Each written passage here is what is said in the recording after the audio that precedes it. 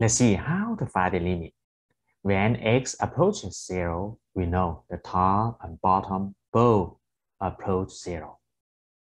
That means it is a indeterminate form. We can apply L'Hopital's rule. But you will see the expression becomes larger and larger when you apply the L'Hopital's rule. So it is not convenient for us to find the limit. Let's use other better method.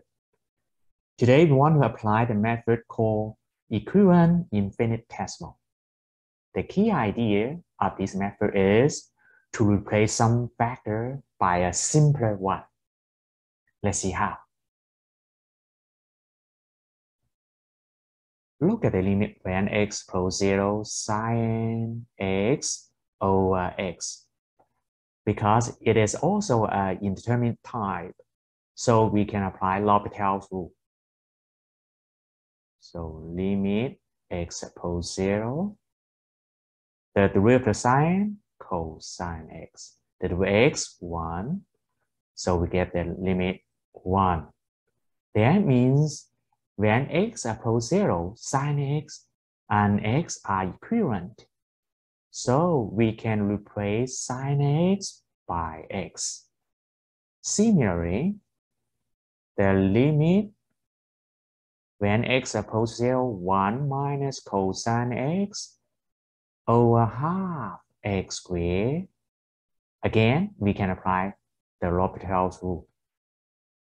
So get limit x approach 0, the root 1, 0, the root sine, uh, cosine, negative sine.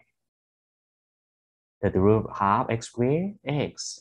So we get limit x approach 0 the top sine x, the bottom x. Oh, we know the limit which is 1. That means 1 minus cosine x and half x squared are equivalent. Again, we can replace 1 minus cosine x by half x squared. So the given limit, limit x approach 0 sine x times 1 minus cosine x over x cubed times cosine x can be written as limit x approach 0, replace sine x by x, replace 1 minus cosine x by half x squared, keep the bottom. So x cubed times cosine x so we can cancel x, x squared, so x cubed, x cubed. And also we can take half out. So we get limit x approach 0.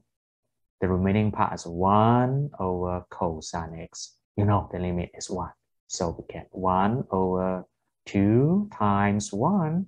So the final answer is half.